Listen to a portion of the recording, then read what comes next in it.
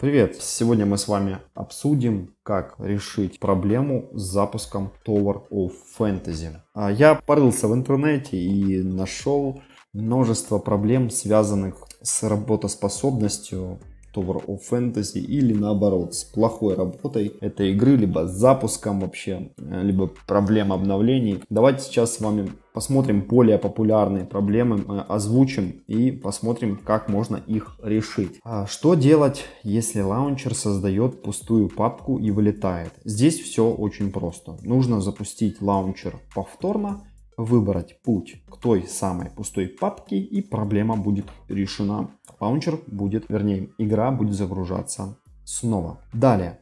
Игра запустилась на китайском языке и не дает поменять его на другой. Чтобы решить эту проблему, нужно на ПК удалить файл myculturename по указанному пути. Путь я укажу в описании. А, папка с игрой, папка Hotta, далее папка Content, заходим в папку Patch Pack и там находим my culture name и удаляем его. Решение понятно. Далее, аккаунт character error 2618 и already logged into the game with this account. Это означает, что сервер перегружен и решением этой проблемы будет то, что нужно попробовать перезапустить игру или немножечко подождать. Вот такое вот решение. Далее идет ошибка обновления, update error. На компьютере нужно перезапустить лаунчер, запустить его от имени администратора или проверить файлы игры на целостность. Я надеюсь, что каждый знает, как это делать. А на Android и на iOS нужно просто перезапустить или переустановить игру с подобной ошибкой. Далее идем к проблеме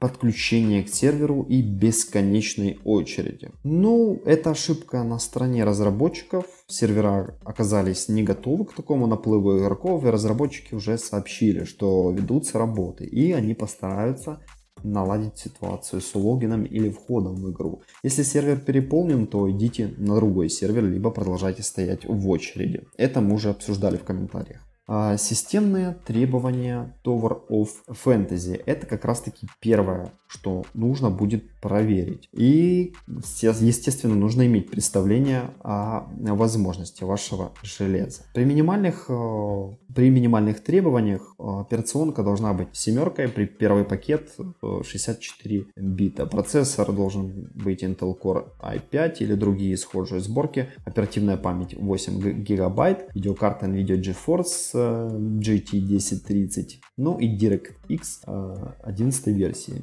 Место на диске должно быть 25 гигабайт и широкополосный доступ к интернету. А рекомендованные требования операционка Windows 10 64 бита, процессор Intel Core i7, оперативная память 16 гигабайт, видеокарта NVIDIA GeForce GT 1060 на 6 гигабайт и DirectX 12 версии. Место на диске 30 гигабайт и широкополосный доступ к интернету.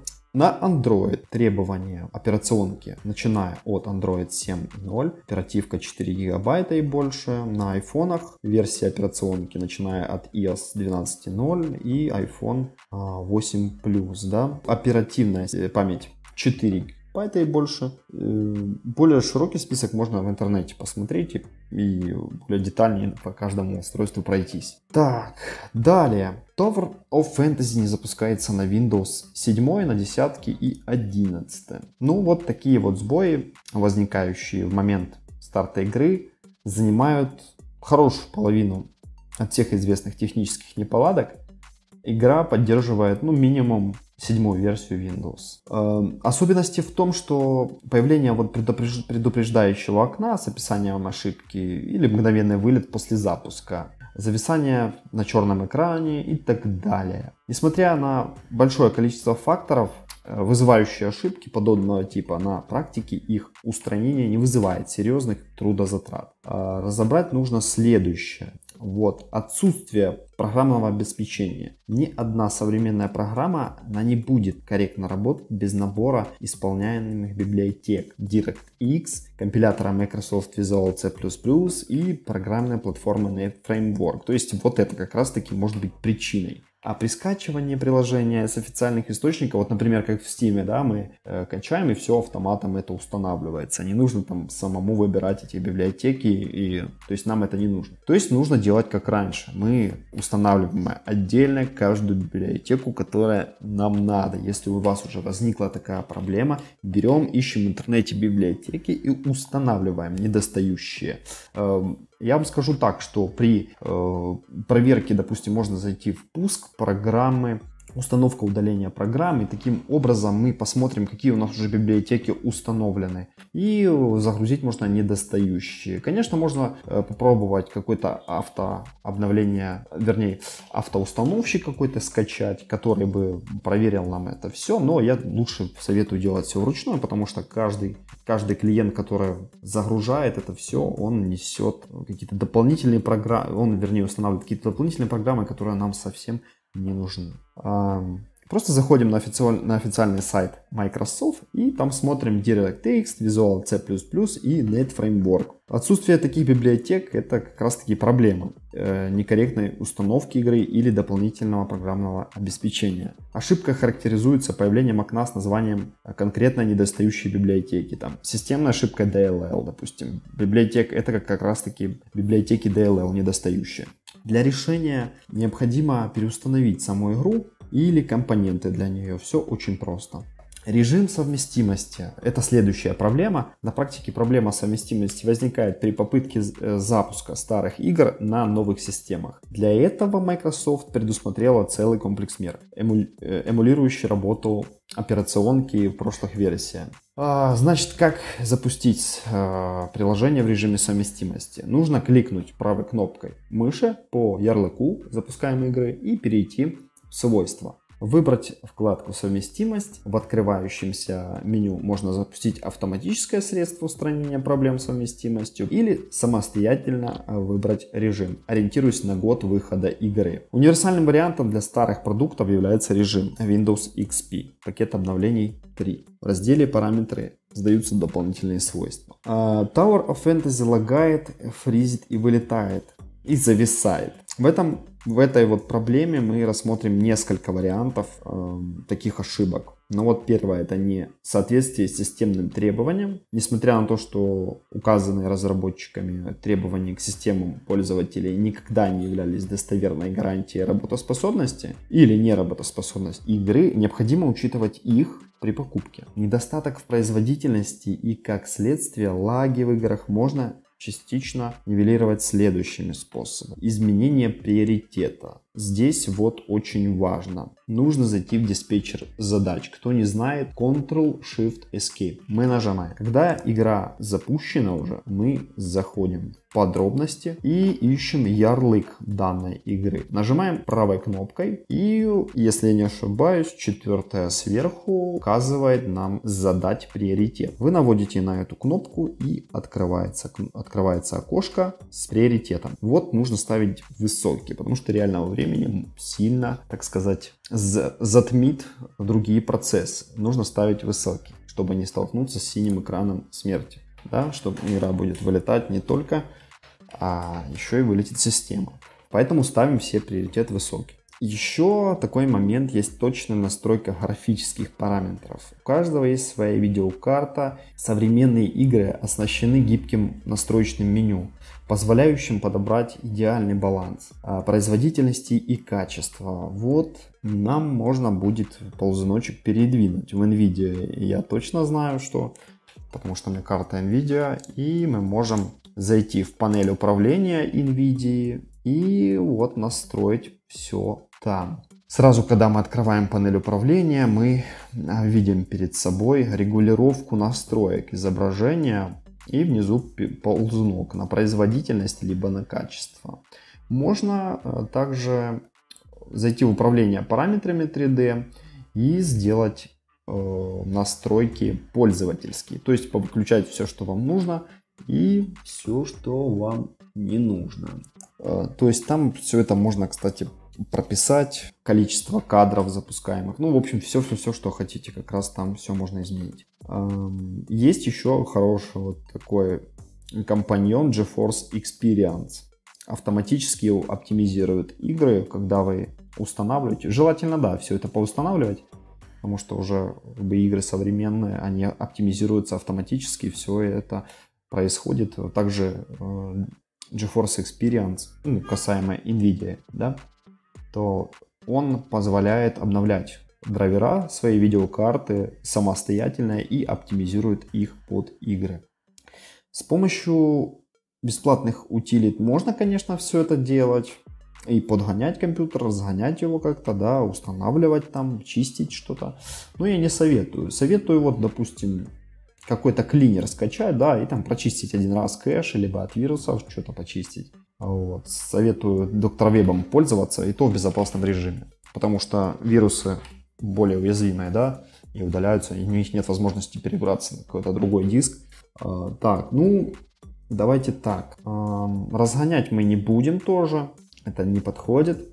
Если у вас железо хорошее, то и разгонять, в принципе, не надо. Я еще посоветую, конечно, у кого стоит HDD, да, еще жесткие диски, то их э, можно было бы заменить на SSD уже давно. Даже я на своем ноутбуке старом уже давно поставил SSD-шник. Э, вот. Устаревшее э, программное обеспечение для видеокарт, вот такая проблема, она э, показывает, что выход каждой нашумевшей игры, он сопровождается релизом, и естественно и специального драйвера для видеокарт NVIDIA, GeForce, либо AMD изначально разрабатывалась под новинку. Да? Он призван обеспечить максимально возможную производительность э, в первые дни после релизного периода. Эм, и чтобы установить последнюю версию графического драйвера, необходимо просто скачать вот компаньон, как я говорил, да, GeForce.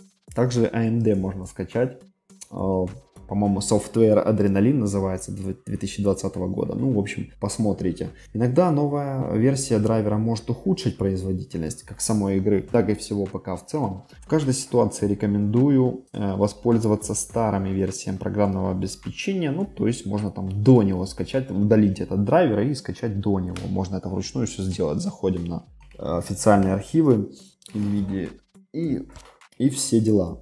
Так, может быть еще ошибка такая, как конфликт с антивирусом или фаерволом. Некоторые программы, обеспечивающие защиту пользователя в интернете, они могут дестабилизировать работу онлайн-проектов. Чтобы этого избежать, я советую изначально заносить новое приложение в список исключений или просто вообще все эти фаерволы, защитники подключать в службах. Если нужно, если вы не знаете, как это сделать, то мы заходим. Все очень просто. Ctrl-Shift-Escape – заходим в службы, открываем службы от имени администратора, ну или просто открываем э, службы и в расширенный заходим, да, в локальные.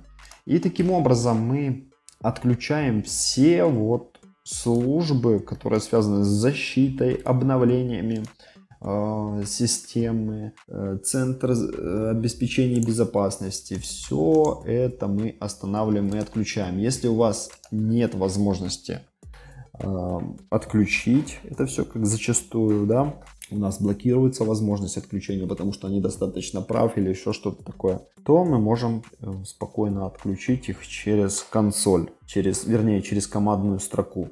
Командная строка, можете почитать в интернете, как через командную строку отключить защитника или брендмауэр, э, это вообще можно отключить через э, пуск. Заходим в пуск, пишем в поисковике брендмауэр, и там далее идет уже да, сети BrandMauer, которая нужно отключить. Там функции отключения и включения. То есть вы зайдете, поймете, как его отключать. Я думаю, вы с этим сталкивались, вы об этом знаете. Плохая оптимизация. Вот э, такая ошибка такая проблема у нас вызывает ошибки всяких фризов, лагов, то так же само. И это одно из следствий нерационального использования времени. А, это, скорее всего, уже неверная оценка собственных сил, проблем с менеджментом и кранчи, которыми грешат сами студии от мала до велика последние несколько лет. Игрокам только остается надеяться на добросовестное отношение разработчиков, собственной аудитории и ждать своевременных выходов фиксов и патчей. Не тех фиксиков, которые вы подумали, а я имею в виду исправлений по оптимизации. Недостаточное охлаждение.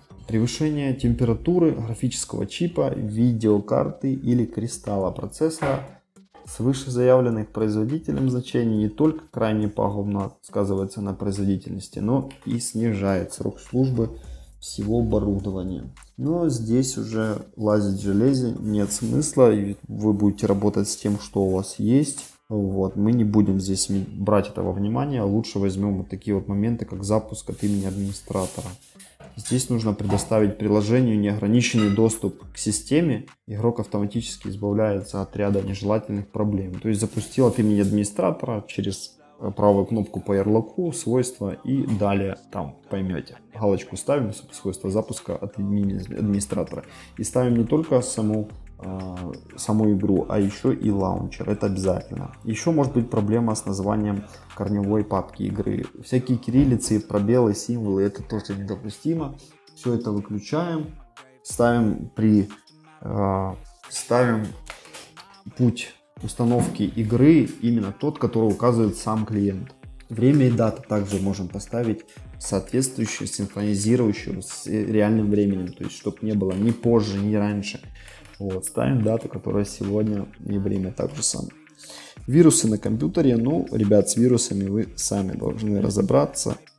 Это, если ничего прям вот не поможет, ни переустановка драйверов, ни все эти моменты. Просто берем, ребят, удаляем все с компьютера, э, чистим его от вирусов. Лучше, конечно, все это форматнуть. Преждевременно можно скинуть на какой-нибудь жесткий диск. Форматнуть, переустановить систему, естественно, та, которая по требованиям хотя бы минимальным соответствует, и все поустанавливать и попробовать еще раз. Тогда это прям вот сто процентов решит вашу проблему. Я, если честно, так всегда и делаю. Просто все переустанавливаю, сношу систему. Это вообще самый решающий способ. Ну и, в принципе, на этом у меня все. Кому было полезно, ребятки, ставим в любом случае лайки, подписывайтесь на канал.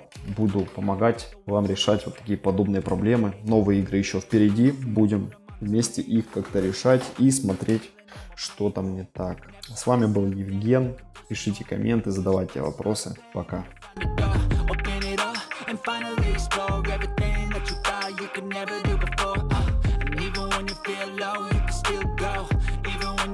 slow, you can still go Even when there's no hope,